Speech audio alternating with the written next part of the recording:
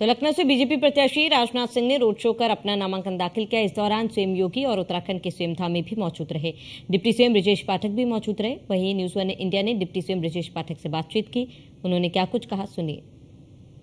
रक्षा मंत्री राजनाथ सिंह के नामांकन के बाद डिप्टी सीएम ब्रजेश पाठक यहाँ से निकल रहे हैं और डिप्टी सीएम ब्रजेश पाठक नामांकन में शामिल थे। क्या कुछ कहेंगे? सर एक लाइन क्या कुछ कहेंगे सर? बहुत बहुत बधाई धन्यवाद बहुत बहुत धन्यवाद बधाई।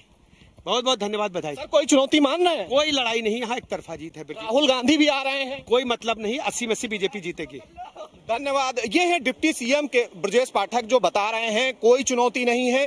उत्तर प्रदेश में 80 के 80 लोकसभा सीटें भारतीय जनता पार्टी जीत रही है। इंडिया गठबंधन का कोई असर उत्तर प्रदेश में नहीं पड़ने जा रहा है।